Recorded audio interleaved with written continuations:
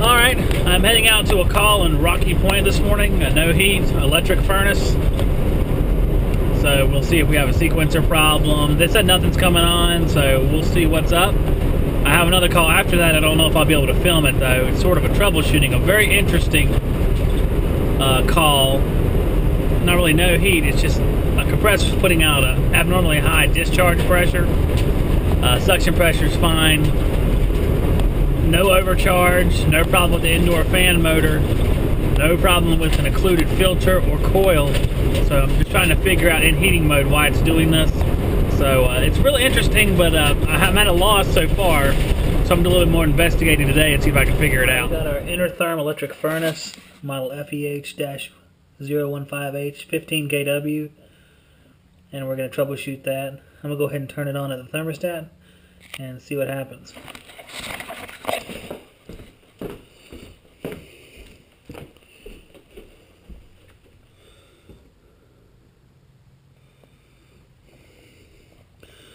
Alright. Nothing's happening, I'm assuming. Because I don't hear nothing. Okay. No, nothing happened, no blower. Nothing else. I'm going to go check and make sure the breaker's on. And then we'll open it up. A little pull out disconnect here from the furnace. But there's another one down here, and that one ain't budging. Check this out.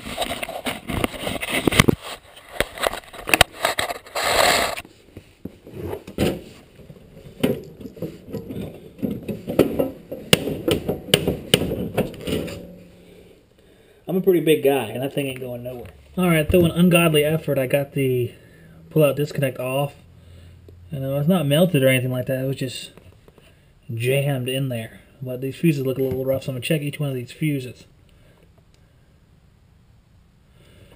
Go to each side.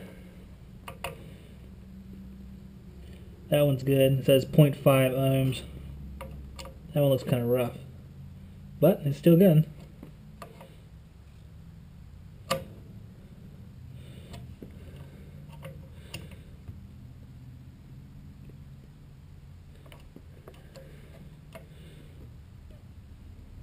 All the fuses are good. All of them read 0.5, 0.4 ohms. So I'm going to pull the blower out a little bit just to take a look at the heat strips. I don't see anything wrong. The breaker's off. So, I mean, the breaker might have been off the whole time and no one just turned it on and started the heat. So I'm going to pull the blower out, take a quick peek at the heat strips and make sure they look okay. And then we'll uh, turn it on and see what happens. I did check and see if there's any grounds in there, and there was no grounds with the mega ohm meter.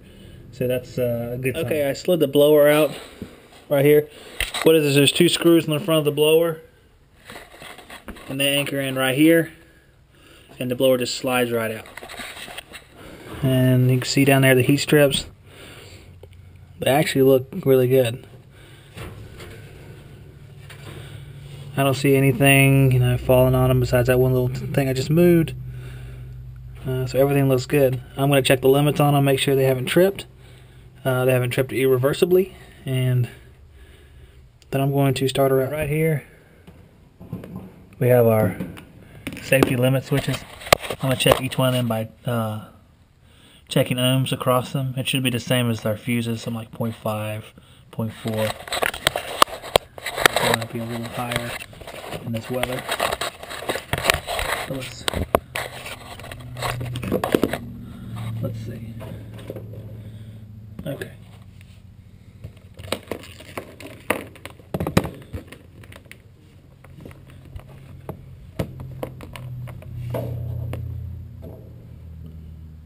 First one is 0.4. That one's good. Now the bottom, because this is a stack, we have 0.3, 0.4. That's good. We go to the top. 0.4. So they're all good. No problem there. So I don't see any problem with this. Hopefully it's just the breaker was off. I see this wire. I'll show you guys. Has a little bit of dis discoloration.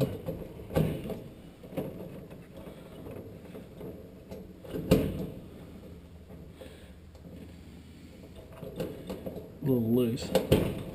Tighten that up. just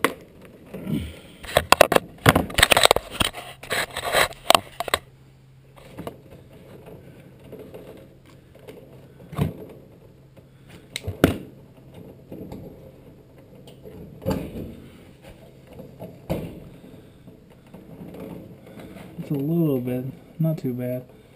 It's the other one up here that's really discolored the most, like it's had a problem at one point or other, gotten a little hot. We'll have to see.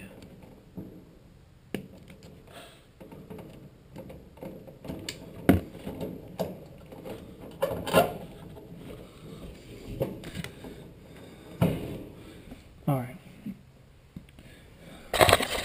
Up at the top here we have the transformer. And these are the sequencer relays. There's two sets here, stack and a single because it's 15 kW. And of course there's our fuses and our incoming power. So let me turn this thing on and see how it looks. Take some amperage readings and make sure we're not over amping and uh, drawing too much power. Alright, I have both my uh, amp clamps set up to measure two of the three circuits and I'll just switch one to measure the third circuit. I'm going to turn the power on and that should uh, immediately bring on a call for heat because it's jacked up to the max.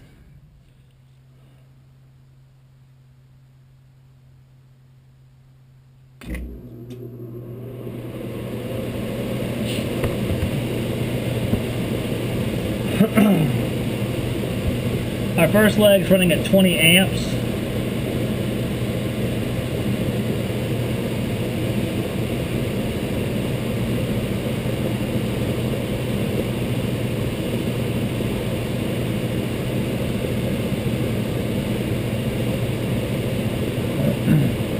You can smell the heat strips burning off the dust. Probably the first time they've been run so far this year.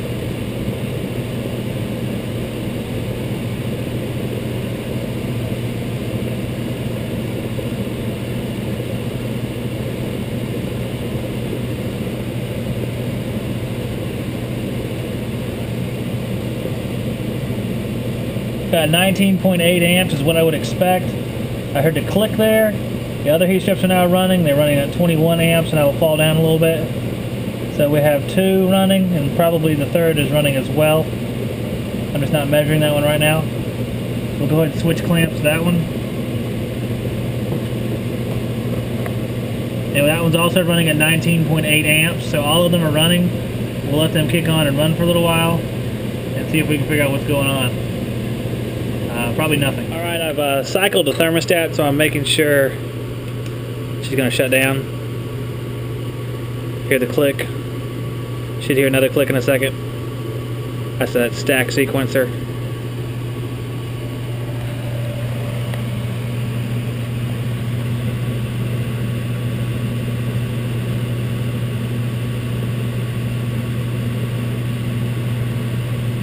Come on.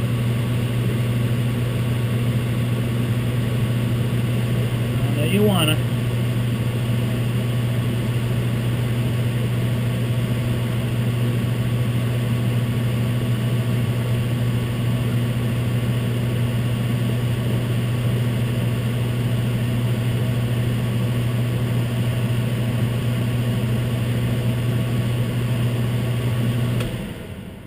And there it is.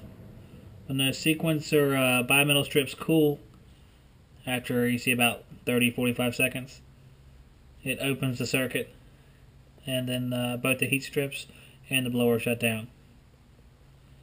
And that is all. So this was a bad case of turned off breaker. But since we're here, we went ahead and checked through everything. Looks like it's good to go. I don't have wire to replace that wire, although it's not like it's going to blow up or anything, I guess. Not that it's a severe issue, but uh, since I was here, I would have changed it. I don't have any uh, wire large enough to change it with, unless I cut up my compressor quick lug set, and I don't think I'm gonna do that. So I'll just come back by with some 12 and or some uh, number 10 and run new wires over there. But so it's working fine. I was just, I guess, I'm nitpicking a little bit, but that's it. On to the next one.